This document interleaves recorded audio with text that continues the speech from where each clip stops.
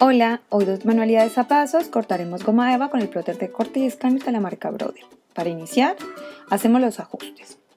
La velocidad la dejamos en un 3 y una presión de 2 para este material. Igualmente ajustaremos nuestra cuchilla a una profundidad inicial de 9 para hacer una prueba de corte. Preparamos nuestro material sobre la base de corte estándar, que en este caso será una goma eva de 2 milímetros. Colocamos Seleccionamos en el patrón la prueba, el triángulo, aumentamos el tamaño un poco para verlo mejor y hacemos un escáner previo. No se nos ha iluminado el play porque no está introducido el tapete, así que damos introducir. Ahora sí damos play para el escaneo del material. Ya se nos ve reflejado el material en la pantalla, seleccionamos nuestro triángulo de prueba de corte y lo ubicamos. Damos OK, cortar y play.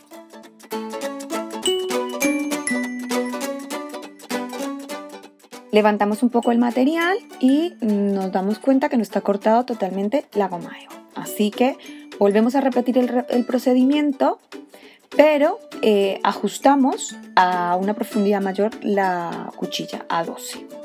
Volvemos a seleccionar la prueba.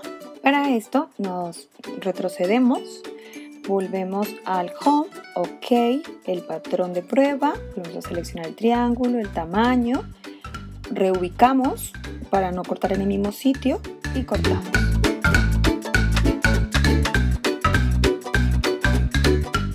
Revisamos, en este caso ya nos ha cortado mejor la goma eva y nuestro tapete no se ha marcado. Damos home, ok, patrón y seleccionamos el patrón de corte que queremos. En este caso vamos a seleccionar una bonita cenefa.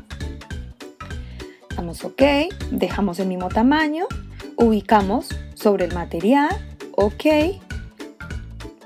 cortar y play.